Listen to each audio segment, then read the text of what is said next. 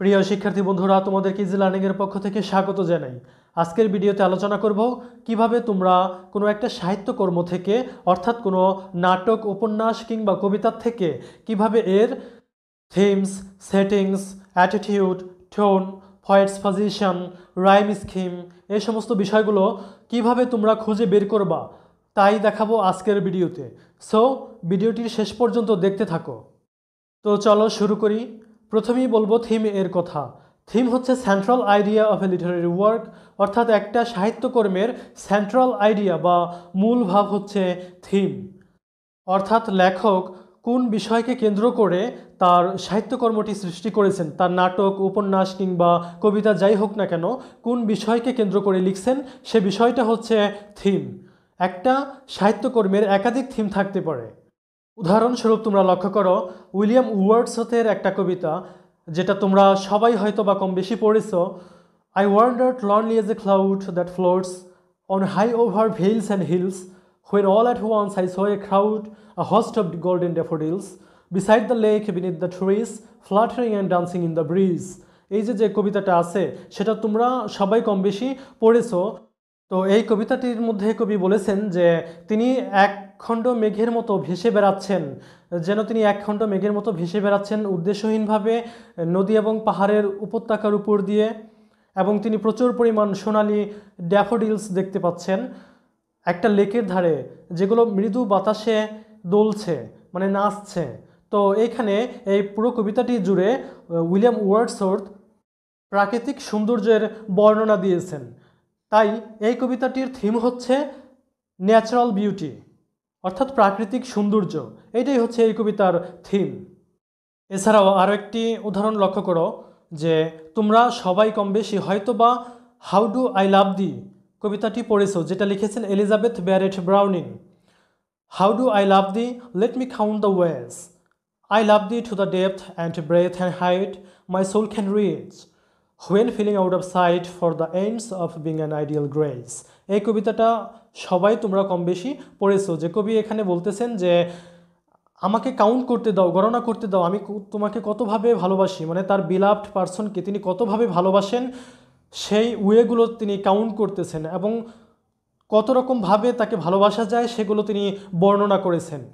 তার মানে এই কবিতাটির থিম হচ্ছে যে লাভ তো এইরকমভাবে তোমরা যে কোনো সাহিত্যকর্মের হোক কবিতা, উপন্যাস কিংবা নাটক, সেগুলোর মূল থিমটা কি সেটা বের করতে পারবে। মানে সেন্ট্রাল যে আইডিয়াটা যে ধারণাটার উপর ভিত্তি করে কবি এই কবিতাটা লিখছেন বা সাহিত্যিক তার সাহিত্যকর্ম সৃষ্টি করেছেন, সেটাই মূলত হচ্ছে থিম এরপরে বলব তোমরা কীভাবে রাইম স্কিম বের করবে।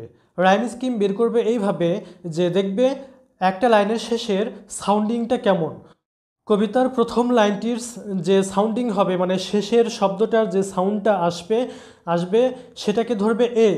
এরপরে যে সাউন্ডটা আসবে মানে সে সাউন্ডটা যদি একটু ভিন্ন রকম হয় একরকম না হলে সেটাকে ধরবে বি। তারপরে যদি আবার ভিন্ন রকম আসে, তখন ধরবে সি। তারপরে যদি আবার ভিন্ন রকম সাউন্ডিং আসে, তখন ধরবে ডি। তো এরকম করে রাইম স্কিমগুলো বের করবে। উদাহরণস্বরূপ লক্ষ্য করো যে I wander lonely as a cloud that floats on high over vales and hills, when all at once I saw a crowd, a host of golden daffodils. Beside the lake, beneath the trees, fluttering and dancing in the breeze. তো এই যে William ওয়ার্ডসথের I wandered lonely as a cloud বা daffodils কবিতার কয়েকটা line তুলে ধরলাম তোমাদের দেখানোর জন্যে যে কীভাবে তোমরা রাইম স্কিমটা বের করবে প্রথম লাইনটা লক্ষ্য করো এখানে কি আছে যে I wandered lonely as a cloud শেষের শব্দটা হচ্ছে ক্লাউড তো প্রথমটা তোমরা এ ধরবা, যেটা রাইমিং হচ্ছে এ এরপরে দেখো যে that floats on high over vales and hills তো ক্লাউড পরের লাইনে আছে হিলস এটা কিন্তু ভিন্ন ধরনের সাউন্ডিং আসছে। ক্লাউড হিলস দুটা দুই রকমের সাউন্ড তো হিলসটাকে ধরবা বি এরপরে দেখো when all at once I saw a crowd লক্ষ্য করো ক্লাউড ক্রাউড প্রায় কিন্তু সেম সাউন্ডিং তো এই যে সেম সাউন্ডিং যেহেতু এই দুইটার রাইমিং এ একই হবে। প্রথমটা যেহেতু এ ক্লাউড তাই ক্রাউডটাও এ হবে। তাহলে রাইমিংটা হচ্ছে এ, বি, এ, তারপরে দেখো হিলস এবং চতুর্থ লাইনের শেষে আছে ড্যাফোডিলস হিলস এবং ড্যাফোডিলস একই ধরনের সাউন্ডিং শেষের সাউন্ডিংটা কিন্তু একই ধরনের হিলস ড্যাফোডিলস তাই এই দুটো সেম রাইম স্কিম হবে। দুই নাম্বার লাইনে আমরা হিলসটাকে ধরছিলাম বি তাহলে চতুর্থ নাম্বারে ড্যাফোডিলস হিলস ড্যাফোডিলস দুটোই বি হবে। তাহলে এ চার লাইন হলো যে এ বি এ বি এবার পঞ্চম নাম্বার লাইনটা দেখো যে beside the lake beneath the trees trees লক্ষ্য করো। তো এইটা উপরের আর কোনোটার সঙ্গে মিলে নাই সাউন্ডিংটা মিলে নাই, তাই এটা হবে সি এবং তারপরে দেখো যে ষষ্ঠ নাম্বার লাইনে ব্রিজ ট্রিজ এবং ব্রিজ সাউন্ডটা কিন্তু সেম সাউন্ড তাই এই দুটোই সি হবে। তাহলে এই স্ট্যান্ডার রাইমিংটা কি হলো? যে A B A B C C এই কবিতাটির দ্বিতীয় স্ট্যান্ডা লক্ষ্য করো যে continuous as the stars that shine and twinkle on the milky way সপ্তম নম্বর লাইনটা দেখো যে continuous as the stars that shine তো এই যে শেষে আছে শাইন, এটা পূর্বের কোনোটার সঙ্গে মিলে নাই। তার মানে এটা নতুন একটা রাইম হবে। মানে এ বি সি যে পূর্বে লাইনগুলোতে হয়েছিল সেগুলো আর কোনোটার সাথে মিলে নাই। তাই এটা হবে ডি এরপর দেখো, পরের লাইন আছে way. And twinkle on the milky way way, এটাও কোনোটার সাথে মিলে নাই। তাই এটা হবে ই তারপরের লাইনটা লক্ষ্য করো। They stretched in never ending line তো লাইন আর শাইন কিন্তু মিলেছে। লাইন আর শাইন যেহেতু মিলেছে মানে সাউন্ডিংটা প্রায় একই রকম, শেষের সাউন্ডিং, শাইন শব্দের শেষের সাউন্ডিং এবং লাইন শব্দের শেষের সাউন্ডিংটা কিন্তু একই রকম, শাইন, লাইন। তাই এই দুটোর রাইমিং একই হবে। যেহেতু শাইন, ডি, তাই লাইনও হবে ডি। তারপরে দেখো, পরের লাইন আছে যে bay along the margin of a bay তো ওয়ে এবং বে একই ধরনের সাউন্ডিং তাই এই দুটো এক রাইমিং হবে। মানে ওয়ে যেহেতু আমরা ই ধরছি, তাই বে, এটাও হবে ই তাহলে এই চারটা লাইনের রাইমিং হলো যে ডিই ডিই পরের লাইন দুইটা লক্ষ্য করো গ্লান্স ডান্স পূর্বের কোনোটার সাথে মিলে নাই। তাই এটা নতুন আরেকটা রাইম হবে।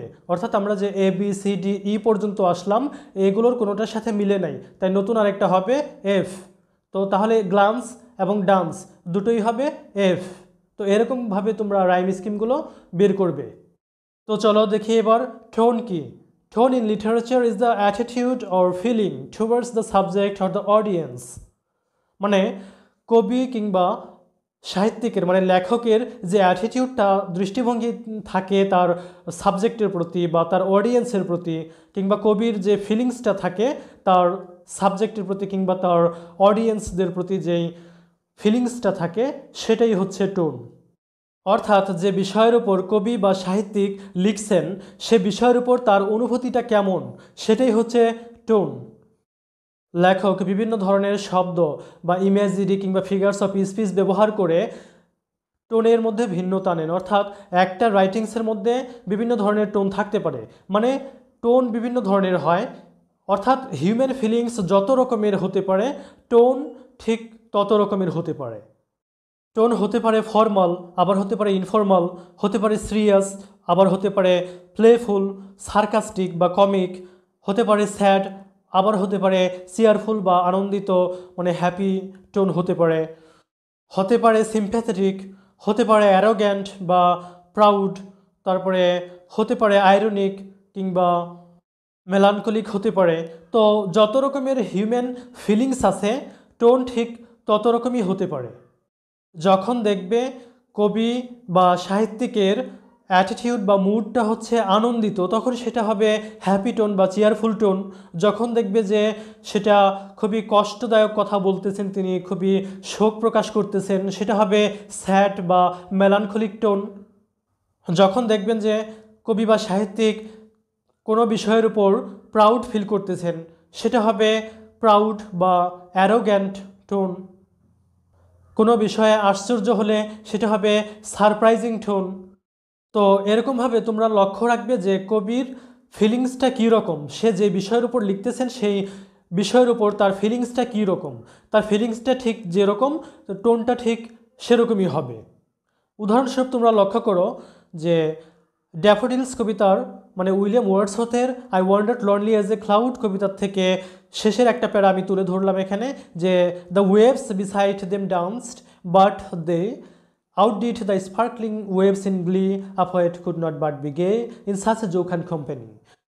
তো দেখো এখানে কবি ড্যাফোডিলস ফুলগুলোর মানে প্রাকৃতিক সৌন্দর্যের বর্ণনা করছেন এবং এ কথা বলছেন যে a poet could not but be gay একজন কবি আনন্দিত না হয়ে পারে না in such a jocund company এই ধরনের একটা কোম্পানিতে মানে এই ধরনের একটা প্রাকৃতিক সঙ্গী পেয়ে মানে প্রাকৃতিক সৌন্দর্য দেখে কোনো কবি আনন্দিত না হয়ে পারে না। তো এখানে আমরা দেখতে পাচ্ছি যে কবি খুব আনন্দিত হচ্ছেন।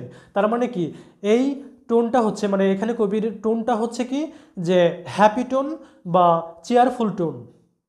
তাছাড়া আরও একটা উদাহরণ লক্ষ্য করো পিবি শেলির ওজিমিন্ডাস কবিতার থেকে।